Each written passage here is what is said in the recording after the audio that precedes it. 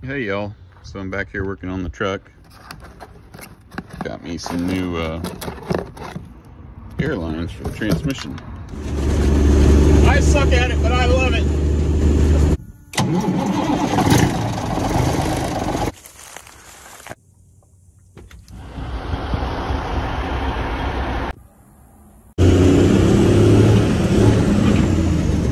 So I have to apologize in advance. This is going to be a little bit of a shorter video. Um, had a couple of things come up about three weeks in a row. I hadn't had no time to work on the truck. Um, last weekend I was planning on a bunch of uh, progress, but wound up replacing some posts on the uh, front porch of the house. And when I went to do that, found a bunch of wood rot and like everything, one thing led to another and I didn't touch the truck. So, but I do have a little bit of things I'm gonna go over and uh, some exciting news. This finally came in. Super stoked about this. Uh, it's factory style bumper for my truck. Uh, Trey Birchfield uh, came through for me with this thing. He had a couple of these trucks and wound up uh, parting them out or selling them or whatever. And this was what he had left. Also have the uh, fog lights to go with it. It's not perfect, but it's got a few blemishes that and a crack or two I'm gonna have welded up, but I cannot wait to get this thing on the truck. It's a factory style bumper that it should have on it now. The bumper that's on my truck now, I have no idea what it what it's even from. It's not an international, at least not a 4070B part. So this thing overall has real good bones. I cannot wait to get that on it. So big shout out to Trey and his wife hooking me up, getting me a good deal on it. So I'm excited about that. Can't wait to get that garbage that's on my truck off of it. So back to my shifter stuff. Um, this is what I am messing with now. You saw me a couple of weeks ago tear this thing down. After cleaning it, um, it's got a lot more wear than I had hoped for. Uh, this was the seal that was in the front of it how oblong that thing is. I did not distort it. Well, here I did, but right down here, all that metal that's missing, that's just how much wear was in this thing. Just totally ate out the bottom of the metal.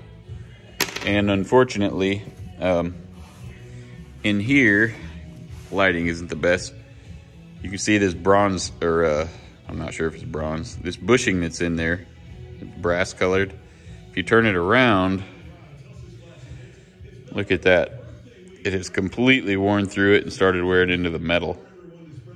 So it's oblonged it. I mean, it's worse than I thought it was. Then, the shifter itself, it rides on that pin that goes in there. And look in the bottom of this box. You can see where the shifter has just been digging big old divots out of the bottom of the uh, the case, the housing. So I don't know exactly what caused that wear. It would have to be the uh, up and down movement in this shifter hole here. I know it has a little bit, it has to go, that oblong part of that egg shape is supposed to be there, I know, because the shifter has to move a little bit left or right. But it, I don't know if that pin has just worn or it's egged out way more than it should that's allowing basically the end of the ball, I think the end of the ball, to dig into the bottom of the case. I'm going to put it back together, dry, after it's cleaned up. And the top of that ball is worn real bad too. Can't really see it, but it's taking a lot of metal off of it. Uh, so I'm not sure. This I showed you in the last video as well, where it was right about where here it's got a pretty good divot in it, a wear spot. So I think putting a bushing in it where it goes into there would probably, any more than I'm gonna use it, probably be okay, but I don't know. I'm gonna put the word out there for a lower mileage unit, you know, somebody that's got a shifter, the whole, the whole arm So if anybody knows where one is out of a low mileage truck, I don't want one out of like a 2 million mile machine because in, in, all likelihood it'll have the same problem. Uh, if I can't find that, I'm just going to go ahead and see what I got to do to fix it. Um, I want it to be right, so just replacing that bushing would probably get rid of most of the problem. I don't know that to be a fact, but the biggest problem was basically the left to right movement that was caused by that bushing. But so what I'm going to do now is just I got to get a part number for this bushing that's in here, and I'm hoping it's got one on it because I don't have a parts manual for this truck. If anybody does, holler at me and I'll buy it from you. Or if you've got a manual and you know the part number, uh, I'm gonna try to set you up and I'm gonna try to knock this thing out of here. I need to get a part number off of it, if it has one. I'm not optimistic, but guy on Facebook said it should have a part number on it. So, see where we go with that.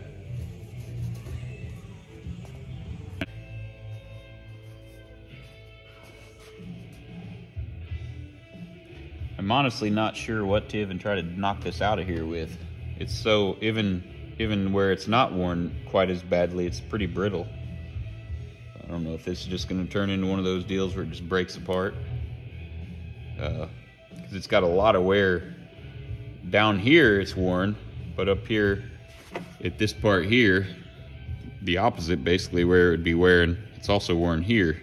So it's worn there and here. So the, basically worn out to match kind of that angle. But I think I'm just going to try to knock it down into it. Probably going to absolutely destroy it.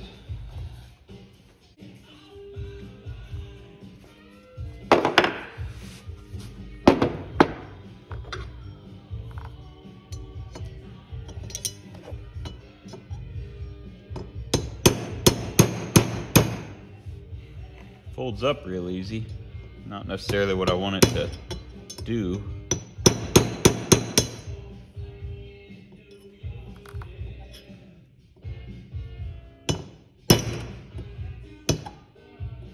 Probably gonna pretzel this thing up like crazy. Just knocking chunks off of it. When I put pop this seal out, this whole uh, inside of where the seal, where that little spring is supposed to be on the lip, was just full of busted off chunks of this brass or whatever this stuff is. Bronze.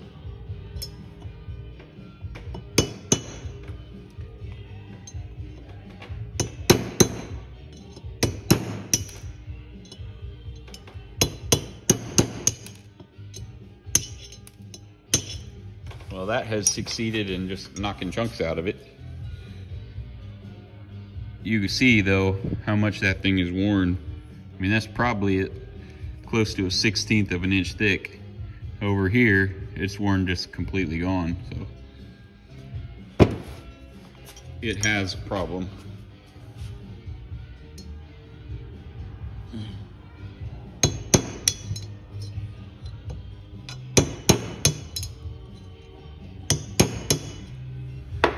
Probably what's gonna happen here is I'm just gonna have to just get behind it and just fold the thing up.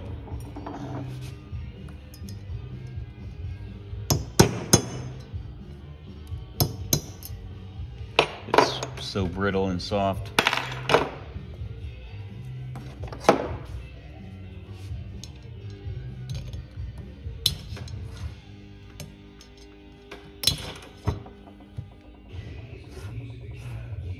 There's nothing really to beat on on this side. It's got the exact same problem. It's just been splintered, spider web cracked. I think I'm just gonna wedge a screwdriver down behind it and should be able to get it out without marring the cylinder up.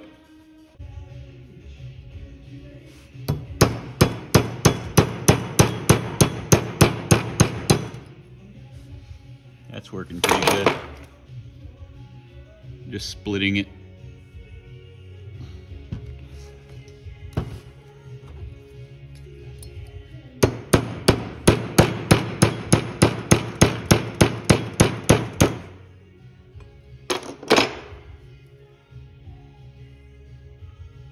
Oh yeah, that worked like a champion.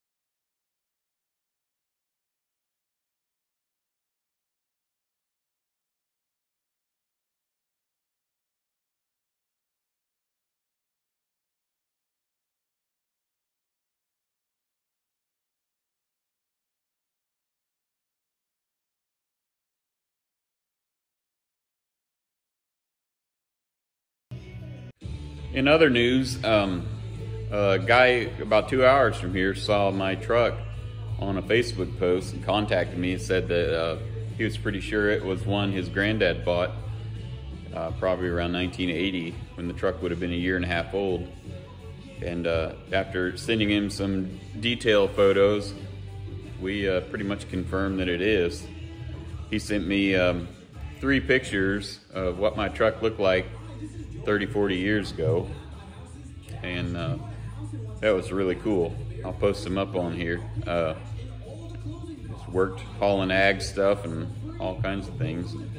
They're not real high quality, real good pictures, but I was thrilled to death just to find out anything about it. So uh, I told him when I get the thing back on the road, he's still a trucker, that I could run it up there or he could come down here and drive it. Uh, I was real happy to get some photos of my truck just out of the blue from back in the day when it was only a year and a half old. Uh, it also had the, the aluminum front bumper identical to the one I just bought. I'm gonna put on it. Uh, so, like I said, I'm happy about that. Kind of seeing it, what it looked like new, kind of makes me want to paint it in the in the original paint that it has on it now. But you let me know what you think about that. I'll take it into consideration. But I don't know, I like red. Red and white, red, and white, and black, international colors. But I also, this factory paint's growing on me, so let me know what you think.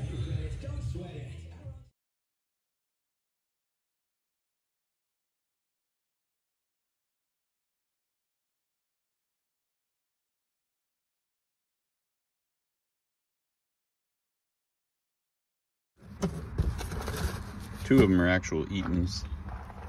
Two of them aren't, but go ahead and pull my uh, caps off, put these back on. Quick tech tip, I use the right stuff gray to plug ports, you know, that are gonna be outside in the weather. You don't ram it way down in there deep, but basically you just give a little squirt right into the end, seals out the moisture and it comes out clean another one. No contamination in it, so get you set up real quick. Funny story is I forgot to uh, take pictures of this. So I had to come back and uh, watch my videos again, which YouTube doesn't really want you to do.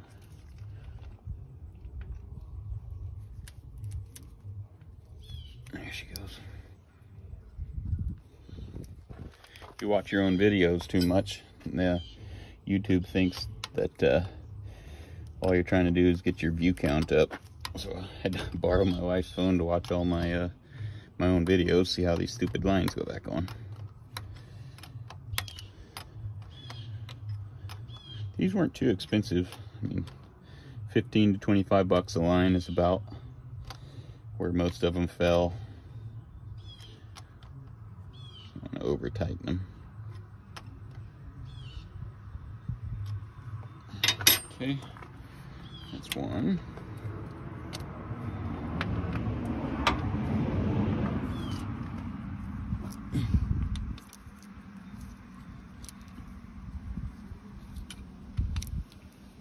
haven't been able to work on this in a while. The uh, getting dark early now, which is annoying. Been out of town a couple of weekends in a row. It's raining. Now it's dark by five minutes after I get off work, even though I guess work is 20 feet from here. I might just have to start coming out here, you know, starting the day earlier and knocking off an hour earlier to get some work done. I seem to have quite a few honeydews planned. Okay, let's reposition. I really cannot see if you can even see what I'm doing here. Okay, ports uncovered.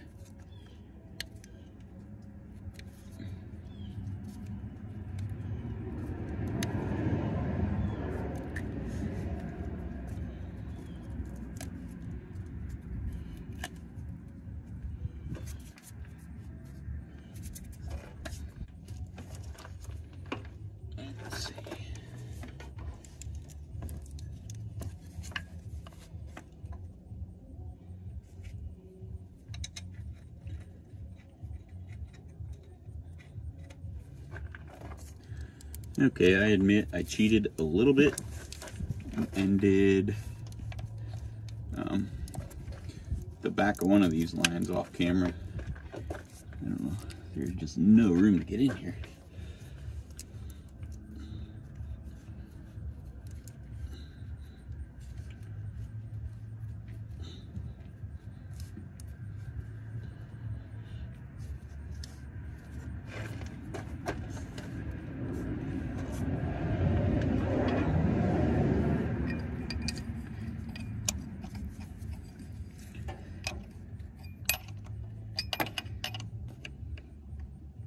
Wasn't really that hard to find these lines. Um, none of them came from the same people, but they're all either eBay or just a Google search away. So if anybody else is fixing to do the same thing as this, they're not that hard to get a hold of. Uh, all right, that's about all I want to crank that.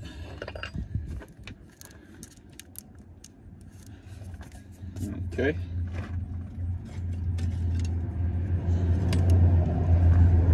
Let's see.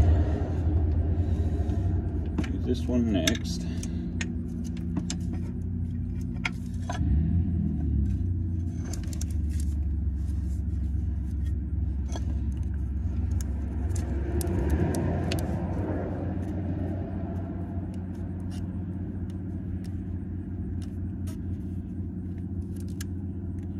I'd recommend probably going with the Eaton lines. They seem to be a little better quality. This one I'm doing right here wasn't. The Eaton lines come with the uh, Teflon sealant stuff already on it. This I just had to use tape on. But I couldn't find the Eaton line for this particular length, so I had no choice.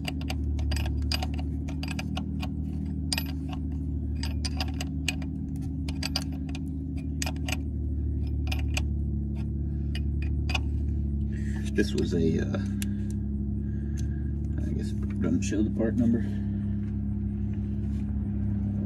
It was a 55518. This is the only one that was any difficulty at all in finding.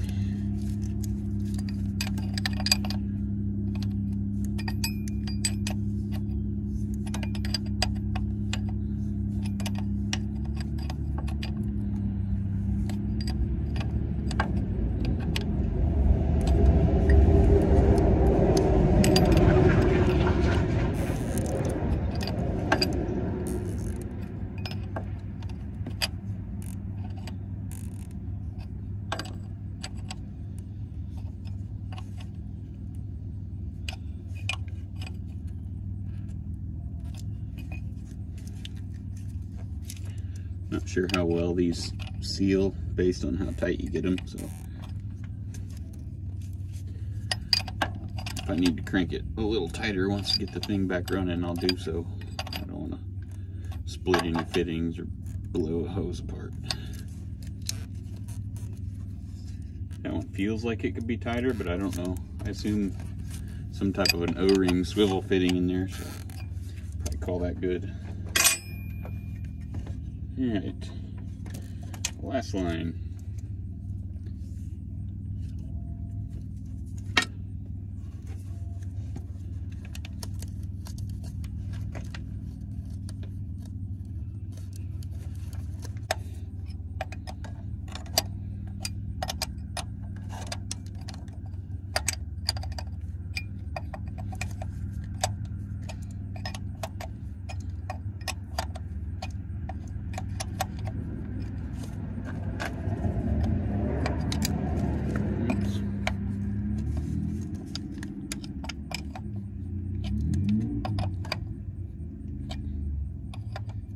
This one feels a little loose.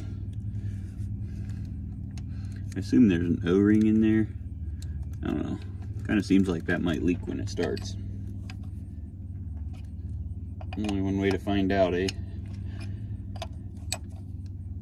I'm not too familiar with this type of line. Fortunately, this line is super easy to get to.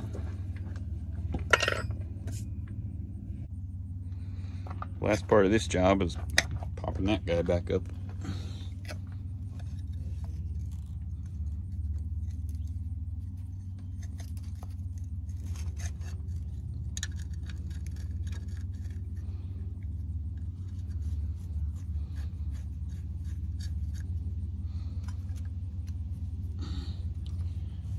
This clamp held these. I guess I'll put it back on.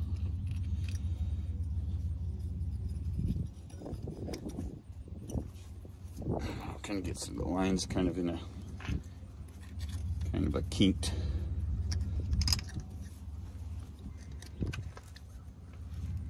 Let's see.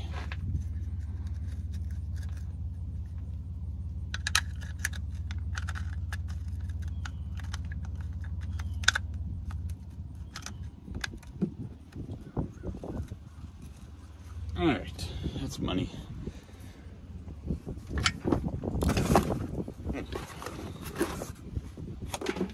A little bit of wind.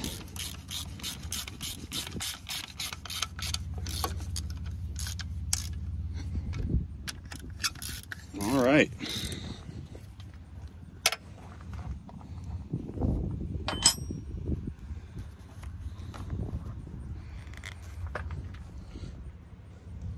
That'll conclude uh, stage one of uh, replacing leaky lines. Although I'm concerned this little guy might leak. Seems loose, but find out soon enough.